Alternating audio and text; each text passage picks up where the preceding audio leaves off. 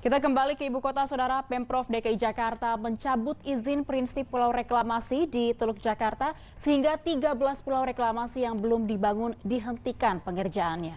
Sedangkan empat pulau yang sudah selesai pengerjaannya akan dikelola untuk kepentingan publik.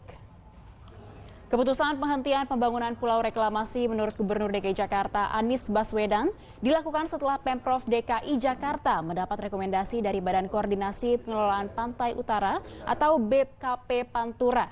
Dengan keputusan tersebut, saudara 13 pulau reklamasi yang belum dibangun akan dihentikan pekerjaannya. Pemprov akan mengirim surat pencabutan persetujuan prinsip dan pembatalan surat perjanjian kerjasama pada pihak pengembang. Sedangkan empat pulau yang sudah dibangun yakni Pulau C, D, G, dan Pulau N akan diatur tata ruang dan pengelolaannya sejalan dengan kepentingan masyarakat. 13 pulau yang sudah yang sudah mendapatkan izin untuk dilakukan reklamasi setelah kita lakukan verifikasi maka gubernur secara resmi mencabut seluruh izin pulau-pulau reklamasi tersebut.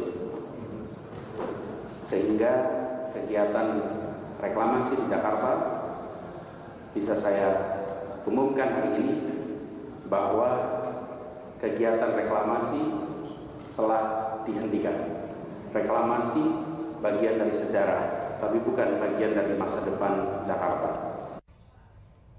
Saudara